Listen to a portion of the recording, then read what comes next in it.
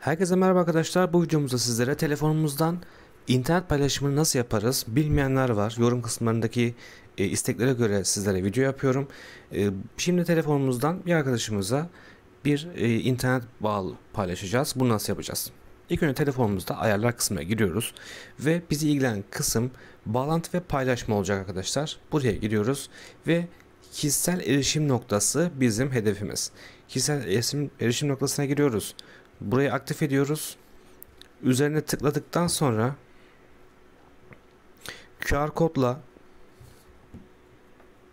kendisine Wi-Fi'ye bağlanmasını isteyebiliriz arkadaşlar. Bu yöntem daha iyi olacaktır. Ve e, bağlantı yönetimine girerseniz burada izin verilen cihazlar, engelleyeceğimiz cihazları görebilirsiniz. Eğer ayar kısmında istiyorsanız arkadaşlar e, QR koduyla paylaşmak istemiyorsanız şu QR kodu kişisel erişim noktası ayarlarına giriyoruz. Burada bizim telefonumuzun e, ismi, bağlantımızın ismi olacaktır.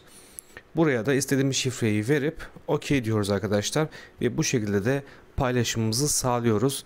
Zaten çıkmak istediğimiz zaman da ekstra buradan şuradaki tikle kapatabilirsiniz. Çıkmayı sağlayabilirsiniz. Umarım faydalı olmuştur. Bir sonraki videomuzda görüşmek üzere arkadaşlar. Kendinize iyi bakın. Hoşçakalın.